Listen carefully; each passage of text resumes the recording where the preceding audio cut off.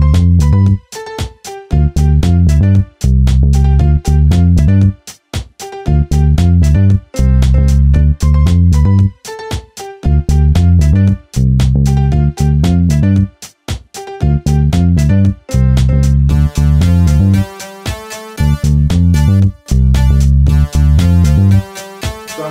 Yrjola uh, from the CTO office of Nokia Siemens. Thanks so much for being with us today. Thank you, Ben. Thanks for this opportunity. Sure.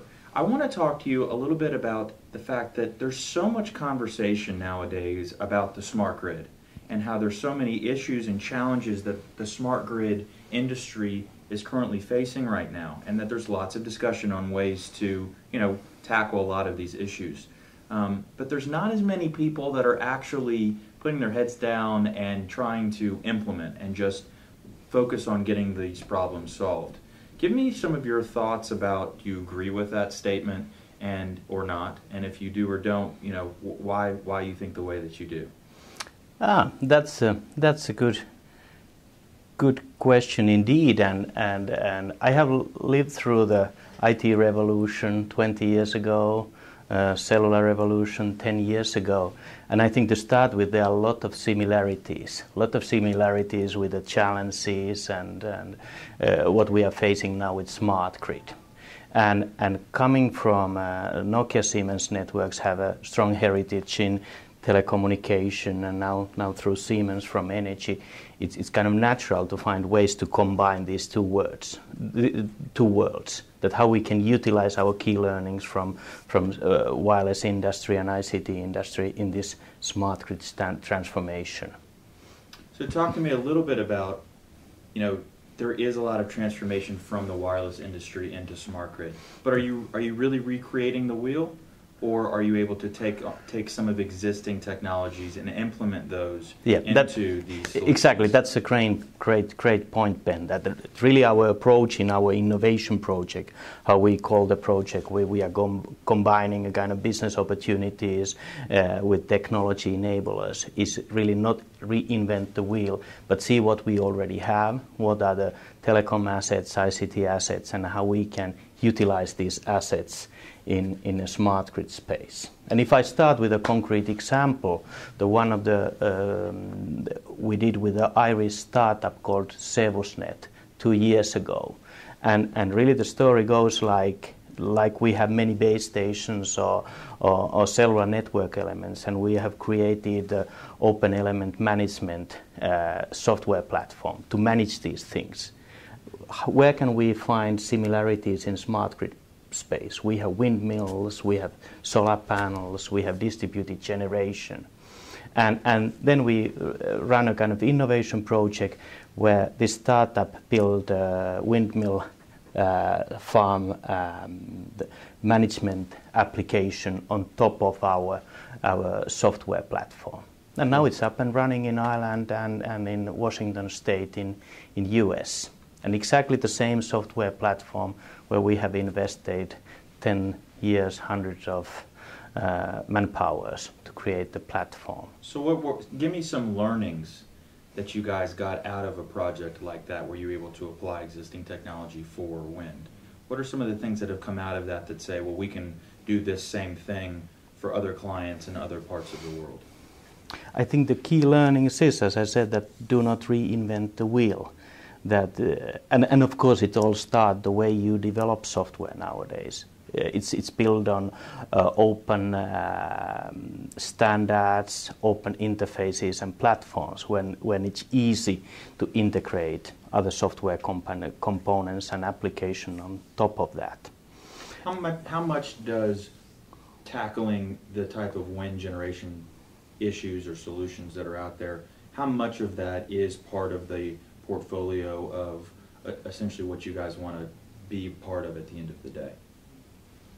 There's a lot of opportunities. I think the wind wind farms and wind energy is one of the fastest growing growing in renewables. The other good example is that, if I continue, is that here we utilized our element management platform. But the other good example is, is the charging and, and, and tariffing platform. And and we we have learned and and uh, there's a lot of discussion about smart meters but what will happen after you have the meters in place? How to utilize the meters how to utilize the data? And here we comes close to what we are so used in telco world is flexible tariff and different uh, tariffing systems and policies and and cust- individual customer experience. And we are introducing the same to energy world through, for instance, one, one uh, innovation project we did in, in Philippines. It's about prepaid energy. Okay. That 95% of our telco customers, new customers in Southern America or India or China or Indonesia, they are prepaid customers. And, and the same way they buy nowadays energy, but they just used some card or tokens or others to buy their energy. Why not to use your mobile phone? And the same kind of prepaid. And here the idea was to utilize our charge at once platform, and do that then together with local, local uh, utilities and operators. And that's, that's a pretty cool. That's a pretty cool thought because there are a lot of like some of the countries you've just mentioned, but there is a lot of the world that is very used to the prepaid behavior. Yep. Yeah, and, and here once again it's not just the technology but the ease of use and how you how you introduce this to the customers. It's they are they are so used to use that how they how they used prepaid voice, prepaid data, prepaid energy. And there is a certain percentage of the market here in the States that is used to a prepaid yeah. platform. But of course, prepaid is just one example. I think here in US it's more like then flexible tariff. That how now utilities can can can approach their customers like like cellular carriers, offering you flexible tariffs and different kind of tariff schemes and and bonus programs, you name it. And all this comes to picture when you have a demand response and, and this kind of advanced smart grid solution. How, how much of an impact or how, how much faster does, does an implementation of, like yours, at least for um, uh, electric vehicle infrastructure and, and the sort, how much of that do you really think advances the understanding and education of electric vehicle infrastructure to the end user? These end users are being hit with messages all the time about how they really need to, to move forward to this kind of stuff. But to be able to find behaviors that they're used to, going back to your mobile example, you really think that helps them say, okay, these are the types of things that we can now apply for the energy space. Let's end up buying our, our energy you know, prepaid and definitely, a lot faster. Definitely, definitely. Good, Ben, you mentioned this um, e-mobility or electrical vehicle topic, and that's a kind of the third example I would like to share with you. And here it's like, like you are roaming with your mobile phone. Nowadays, it's it's it's a fact of life. You can roam, you can make your calls, any city you are, any, any country you are, you are roaming. But that was not the case 10, 20 years ago. You need calling cards or quite complicated system to, to make the call happen.